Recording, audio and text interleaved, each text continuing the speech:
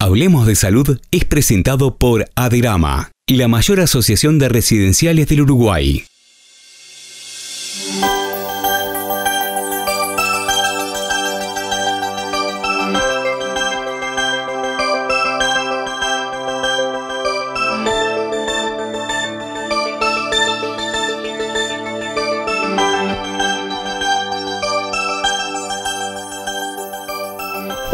Semana hay una nueva entrega de Hablemos de Salud. Sean ustedes muy bienvenidos. La celiaquía puede aparecer en cualquier momento de nuestra vida y afecta muchísimo también la calidad de vida de quien la padece. Hoy la doctora Marisa Parrota nos define esta enfermedad y nos dice cuáles son los síntomas y el tratamiento. La enfermedad celíaca es una enfermedad sistémica, digo sistémica porque abarca a muchos órganos, no solo el aparato digestivo. Es autoinmune y se desencadena tras el consumo del gluten. El gluten es una proteína que contienen los cereales, el trigo, la avena, la cebada y el centeno. Es una enfermedad genética, no es congénita, ya que no se nace siendo celíaco. El individuo desencadena la celiaquía tras estar en contacto con el disparador ambiental que es el gluten. Entonces, si yo diagnostico a un paciente celíaco, lo correcto es estudiar a los familiares de primer y segundo grado, porque seguramente alguien en la familia tiene esa particularidad genética que va a ser detonante de esta enfermedad. Podríamos comparar a los pacientes celíacos con el modelo del iceberg. Yo en el iceberg voy a ver solamente la punta que sobresale por encima del nivel del mar. Esos son los pacientes con síntomas. Ahora, el 80% del iceberg que está por debajo del nivel del mar, esos pacientes son asintomáticos pero están enfermos. Los síntomas en la enfermedad celíaca van a depender de la edad del paciente, de la edad de presentación en el paciente. Están los pacientes pediátricos, que son chiquitos que pueden debutar con diarrea, pérdida de peso, talla baja, van lentos en la curva del crecimiento, generalmente son los primeros de la fila en el colegio. Estos chiquitos entonces pueden tener también déficit de atención en el colegio, irritabilidad. Ahora bien, los pacientes adultos, los síntomas van a ser diferentes. Pueden ser tanto diarrea como constipación. Un 40% de los pacientes adultos pueden ser constipados.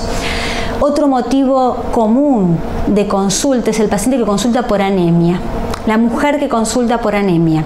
Mujeres que están mucho tiempo tomando hierro por vía oral y ven que no sube el valor de glóbulos rojos. Es altamente sospechoso. Plaquetas bajas, infertilidad, esto es muy importante tanto en el hombre como en la mujer. Piel y pelos secos, caída del cabello. También sabemos que se asocia y mucho con enfermedades autoinmunes, por ejemplo, enfermedades de la tiroides, con el hipotiroidismo, con diabetes hay alta evidencia científica que tiene relación con la depresión. Es una depresión, va a ser una depresión donde la dieta la mejora. Esto es importante, por eso es importante el diagnóstico. Y también hay enfermedades, eh, tumores, ciertos tipos de tumores que tienen mayor prevalencia en pacientes celíacos que no realizan la dieta riesgo que disminuye a cero cuando el paciente realiza correctamente su dieta paciente que sospeche que sus síntomas pueden, presentar, pueden tener que ver con esta enfermedad celíaca, lo correcto es consultar a su médico clínico, quien va a decidir si debe derivarlo o no al gastroenterólogo. El diagnóstico en sí lo podemos hacer con pruebas serológicas, con un simple análisis de sangre. Nosotros sabemos a quiénes pacientes, de acuerdo al resultado del laboratorio de sangre, a qué pacientes debemos realizarle una endoscopía bajo sedación que se hacen hoy en día, una endoscopia con toma de biopsia de esa porción de duodeno que probablemente esté afectado. Con respecto al tratamiento, el tratamiento del paciente celíaco sabemos que debe realizar de por vida una dieta libre de gluten. Es muy importante hacer énfasis en esto, ya que la dieta es permanente, es de por vida.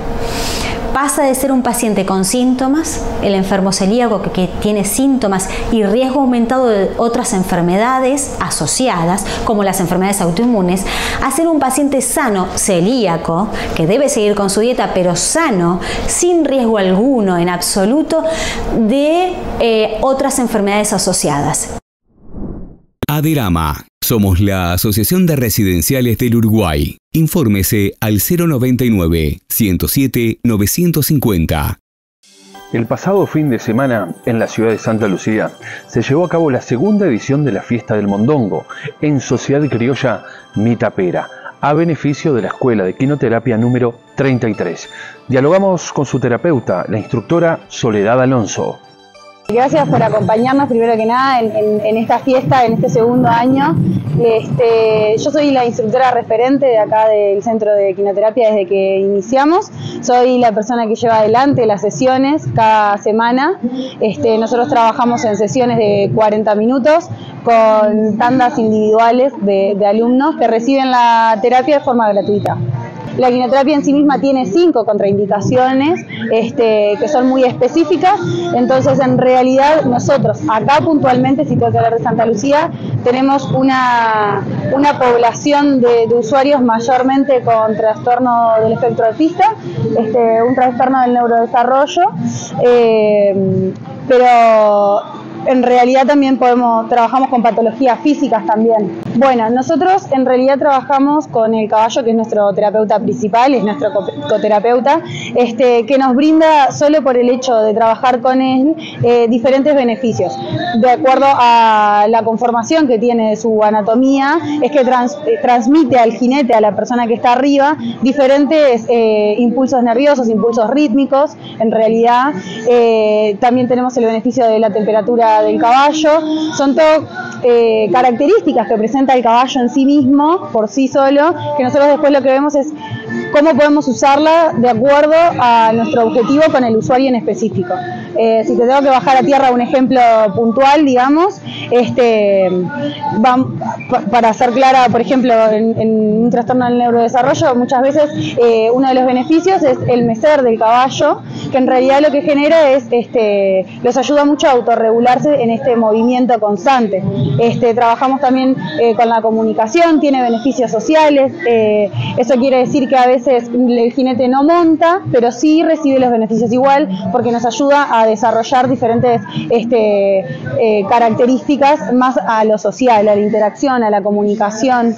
Tenemos diferentes objetivos a corto y a largo plazo y en realidad no es que haya un tiempo específico, sino que va a depender de cada uno cómo vaya este, respondiendo a, a lo que nosotros planteamos como objetivo. Es que bueno, es un centro que está ubicado en Santa Lucía y como siempre decimos, está acá en Santa Lucía y es de ellos y para ellos. Entonces todas las ayudas que nos pueda, o sea, que nos puedan brindar, ya sea este, a veces puede ser alimento para los caballos, este, puede ser acercarse simplemente para estar a la orden para eventos grandes, este, ayudas económicas obviamente que también, recibimos y trabajamos con bonos a colaboración, este, materiales para nuestros usuarios, eh, trabajamos con bueno todo lo que es eh, a veces más asociado al deporte con los pelotas y demás. Ahora estamos con un proyecto muy grande, muy lindo, que es eh, reformar un furgón para que sea nuestra sala interdisciplinaria para poder llegar a los usuarios aunque esté lloviendo, por ejemplo, porque como no tenemos picadero techado, eh, lo que estamos conseguimos una donación de un furgón que la tenemos que bueno lo tenemos que remodelar pintar este se, consiguieron donados los pisos pero igual hay que hacerle el aislante todo entonces todo lo que sea este, donación de material obviamente que nos vendría bárbaro Centro de Salud Palas Atenea 095 273 538 www.palasatenea.com.uy Un amigo sabe cuando estamos tristes, alegres o molestos. Por eso siempre debemos dedicarle un tiempo para escuchar y hablar, expresarnos mutuamente.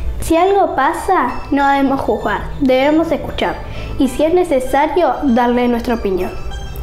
Lo importante es demostrarle que siempre estaremos para él.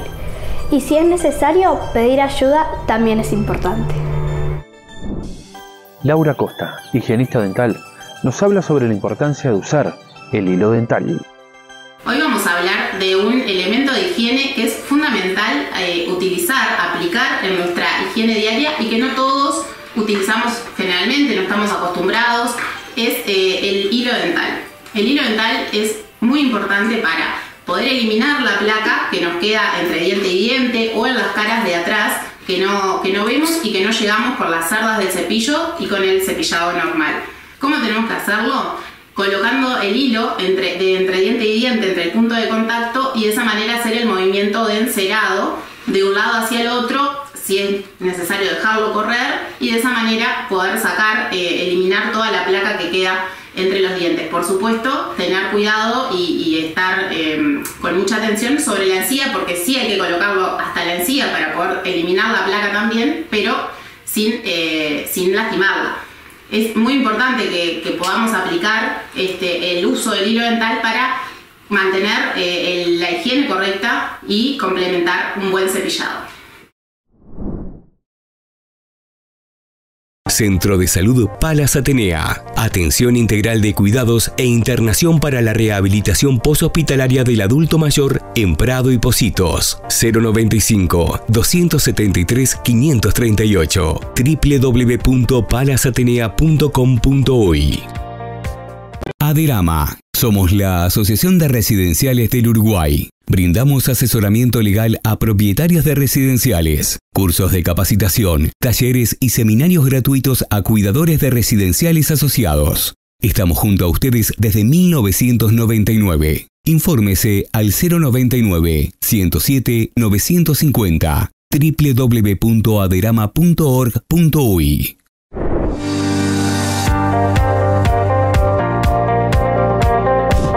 Cuando nuestros afectos avanzan en su edad, aparece la necesidad de nuevos cuidados y atención. En Residencial Infinito nos preocupamos por ofrecerles un espacio integral de apoyo a las actividades de la vida diaria con la asistencia de un equipo entrenado, vocacional y profesional. Visítenos, conocernos hará más fácil su elección. 098 810 207 Aderama. Somos la Asociación de Residenciales del Uruguay. Infórmese al 099 107 950. En esta oportunidad, la doctora Gabriela Novelo nos habla y nos dice qué se toma en cuenta a la hora de realizar un implante, tanto en hombres como en mujeres a todo paciente hay que hacerle un estudio, ¿sí? Y ese estudio de sus balances eh, estéticos a nivel del rostro hay que considerarlos. Cuando nos enfrentamos a un rostro, entonces tenemos que dividir lo que son los tercios faciales. El tercio facial superior va de lo que es la implantación pilosa, o sea, el comienzo de la implantación pilosa, hasta lo que es el reborde supraorbitario, donde estaría la proyección de la ceja. El tercio medio va desde este punto hasta la base nasal y el tercio inferior va desde la base nasal hasta el borde mandibular. Se considera que cada uno de estos sectores es un tercio facial. Entonces, cuando nosotros vamos a realizar un implante capilar, tenemos que utilizar estos reperes anatómicos y estéticos para lograr un resultado natural. También tenemos que evaluar la contracción del músculo frontal. El frontal tiene un, el músculo frontal cuando se contrae va a arrugar la frente y donde termina esta arruga, ahí se puede comenzar a hacer el diseño. ¿Por qué es clave esto? En primer lugar, si el paciente es hombre y quiere hacerse un implante a nivel frontal, no podemos bajar mucho la línea de implantación eh, de pilosa porque queda feo estéticamente, no queda natural y no acorde a la edad. También tenemos a las mujeres. Muchas veces veces las mujeres nos consultan porque tienen un marco de implantación masculino, cuadrado, me refiero con entradas, rectos, ángulos rectos. Esto también se puede mejorar con un implante capilar, haciendo que la implantación sea más circular, redondeada como tienen eh, la mayoría de las mujeres. Entonces, si hay mujeres que presentan una implantación de por sí constitucional masculino, se puede mejorar entonces con un implante capilar, logrando una frente feminizada, una frente eh, más estilizada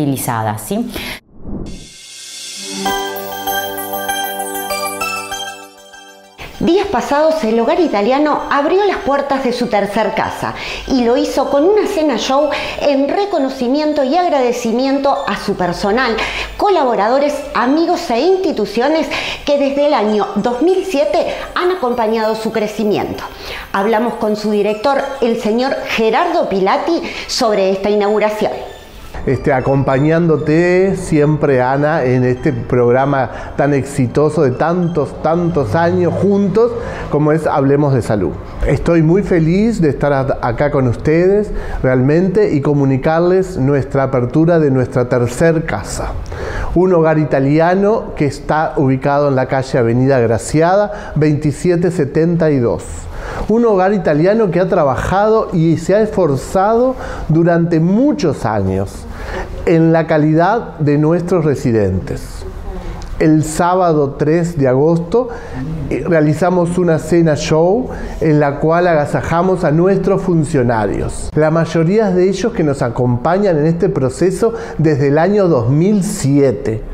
Imagínense lo agradecido que estamos, porque día a día nosotros trabajamos en conjunto, con un equipo multidisciplinario que hace la calidad de vida y el servicio de excelencia de la cual nuestros residentes están acostumbrados. Nuestros funcionarios son pilares de nuestra institución. Hemos agasajado a ellos junto con, bueno, con integrantes de tu producción, con autoridades que nos acompañan tantos años en que la comunidad ítalo-uruguaya sea representada en nuestro hogar, abriendo las puertas siempre para una atención de excelencia. Nuestro hogar pilares de la comunidad ítalo-uruguaya durante tantos años, siendo, los pilares también en nuestra salud. Es por eso que nuestro hogar, junto a la comunidad ítalo-uruguaya, trabaja en pos de lo que es la salud. La salud de adultos mayores y la salud en salud mental. Un flagelo que hoy es sumamente importante.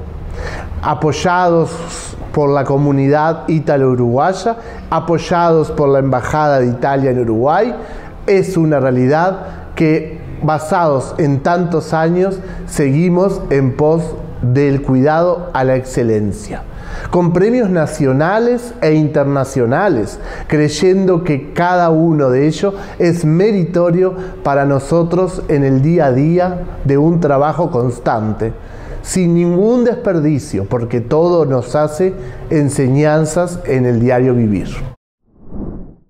La comunidad italiana es uno de los pilares fundamentales en lo que se refiere al apoyo y desarrollo del hogar italiano.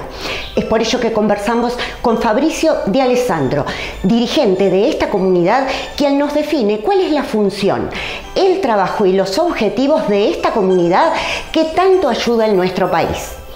Eh, nos encontramos ahora en, el patronato Inca, patronato Inca que eh, se encarga de tutelar los derechos de, los ciudadanos italianos, que nace después de, la Segunda Guerra Mundial con la intención de asistir a aquellos italianos que necesitaban ayuda en materia eh, de ciudadanías, de pensiones y bueno, diversas cuestiones que tienen que ver con la comunidad italiana. La colectividad italiana en Uruguay es muy grande y dentro de la colectividad italiana existen diversas instituciones, instituciones que nacen con esos emigrantes que vienen de Italia con, eh, digamos, eh, el deseo de poder asistirlos en diversas materias.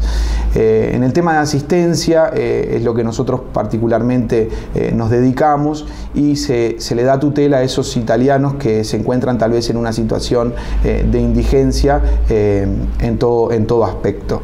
las asociaciones italianas cumplieron un rol fundamental dentro nuestro país, también en lo que es la difusión de, nuestra cultura. Eh, para nosotros es un argumento principal eh, ayudar a aquellos, eh, aquellas personas que se encuentran en situación no solo de indigencia, sino con dificultades o enfermedades.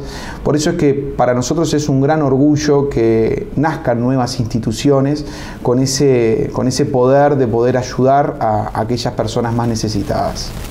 En la actualidad, eh, los italianos eh, nacidos en Italia que residen en nuestro país no son muchos, pero evidentemente, dado la emigración que se hace en los años 50, hoy en día son personas y adultos mayores.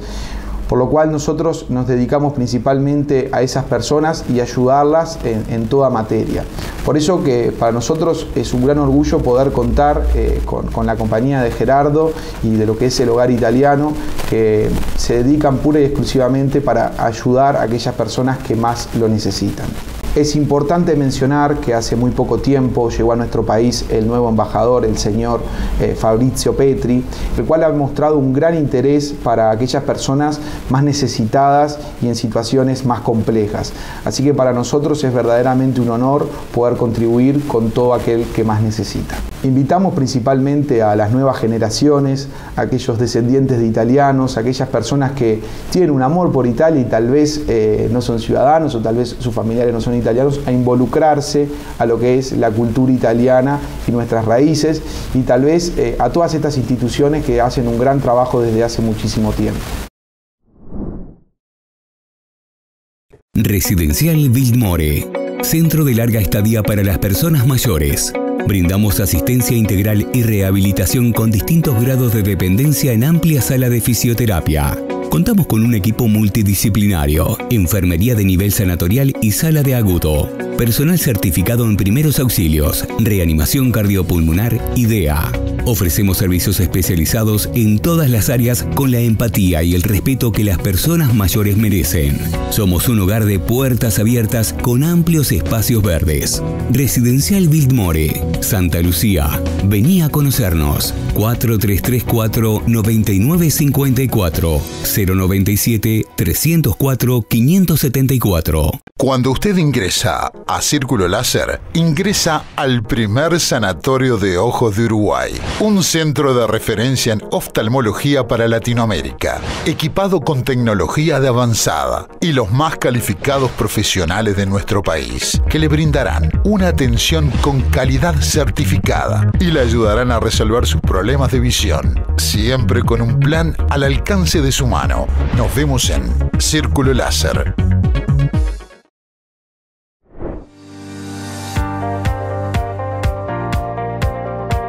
Hablamos de envejecer, una propuesta diferente, integral y personalizada es Residencial Infinito. Acompañamos a su familiar en el proceso de situaciones de dependencia con una atención esmerada en un entorno seguro. Nuestro objetivo, la calidez de un hogar con los cuidados especiales y necesarios en esta etapa de la vida. Visítenos, conocernos hará más fácil su elección. 098 810 207. Aderama. Somos la Asociación de Residenciales del Uruguay. Brindamos asesoramiento legal a propietarios de residenciales, cursos de capacitación, talleres y seminarios gratuitos a cuidadores de residenciales asociados. Estamos junto a ustedes desde 1999. Infórmese al 099 107 950 www.aderama.org.uy.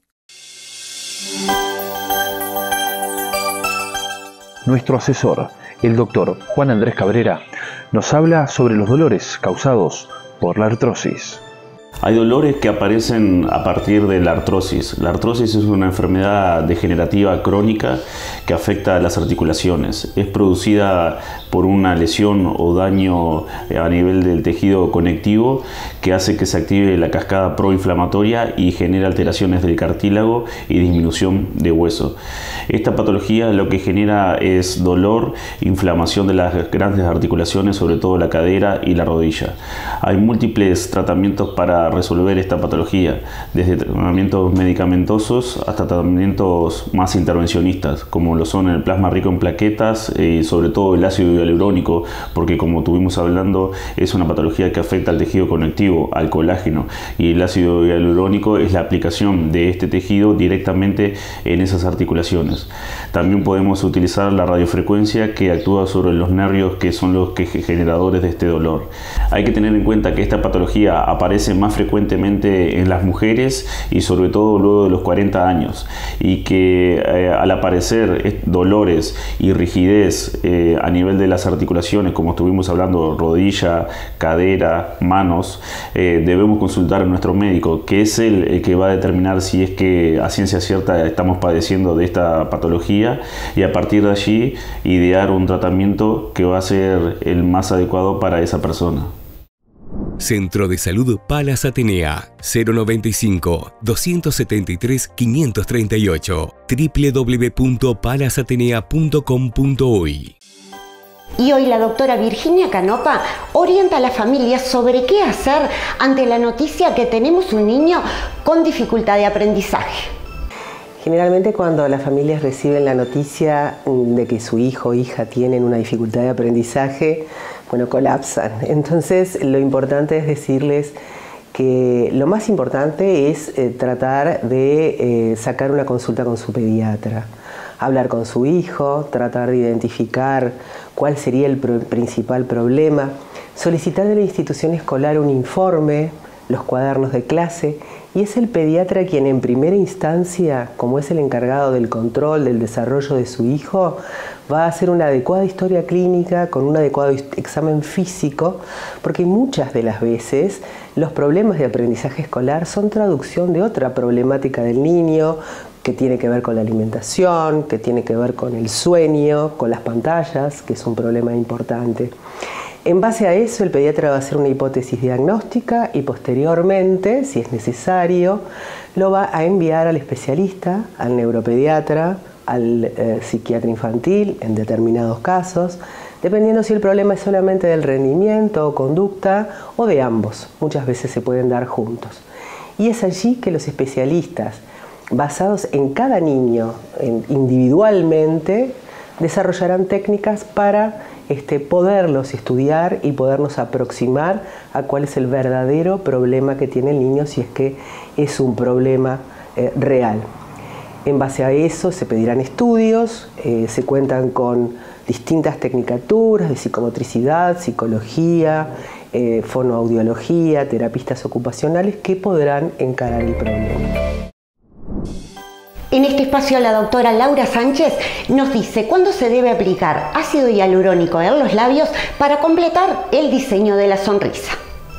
Aplicamos el ácido hialurónico, que es un relleno natural que todos los seres humanos tenemos, en la zona de los labios. Cuando terminamos un diseño de sonrisa aplicando carillas, una vez que está finalizado el tratamiento, observamos que nuestros pacientes tienen los labios muy finitos y para enmarcar y darle la finalización al trabajo, hacemos lo que se llama un perfilado. El perfilado no es un relleno, el perfilado es delinear los labios de nuestro paciente, hidratar sobre sobre todo para sacar esas arruguitas pequeñas que tenemos cuando modulamos y darle una, una linda forma. Siempre hablamos de, labios elegantes, de labios definidos. Por supuesto que también se puede hacer rellenos en los casos de labios muy finitos o también conversando con el paciente siempre cuáles son sus expectativas y sus gustos personales pero lo que queríamos señalar hoy es cómo le cambia el perfil, cómo le da elegancia al labio y que realmente es un tratamiento muy bonito para cuando hacemos diseños de sonrisas o en caso de los pacientes, generalmente mujeres o no, pero la mayoría son mujeres, que tienen el labio muy finito y no logran este, lucirlo como a ellas les gustaría. Entonces hacemos este perfilado con ácido hialurónico y los cambios son muy disfrutables para el paciente. Este segmento se lo dedicamos a los avances de la unidad de esófago del Hospital Maciel que recibe pacientes del ámbito público y privado. Desde el año 2017 hemos, este, creado la unidad de, del manejo de los pacientes con este, patología esofágica, eh, en conjunto con cirugía de tórax, clínica quirúrgica, este, servicio de oncología, servicio de nutrición, anestesia, CTI, y esto nos ha brindado y nos ha dado la posibilidad del manejo de los pacientes con, cáncer esófago con excelentes resultados. Y los pilares para obtener los buenos resultados han sido el manejo oncológico, sobre todo la realización de la neoadyuvancia sistemática en estos pacientes, el manejo de la cirugía mínimamente invasiva en la en, el intraoperatorio y eso fue producto de nuestra formación en el exterior y la participación de excelentes este, docentes extranjeros que nos han enseñado la técnica quirúrgica y también lo que tiene que ver con el manejo perioperatorio y posoperatorio en el CTI. Esto ha sido solo posible a través del trabajo en equipo, del trabajo multidisciplinario y sobre todo por el impulso dado por la dirección de nuestro hospital que ha permitido este alcanzado. También destacar que nuestro hospital es referencia en otras patologías quirúrgicas, como es el tratamiento de la carcinomatosis peritoneal, siendo nuestro hospital el único centro en el país que trata este tipo de patología, donde se reciben pacientes tanto del ámbito público como del privado. Recordándoles que su salud es lo más importante y que prevenir enfermedades es un compromiso de todos, nos despedimos y los esperamos aquí la próxima semana en Hablemos de Salud.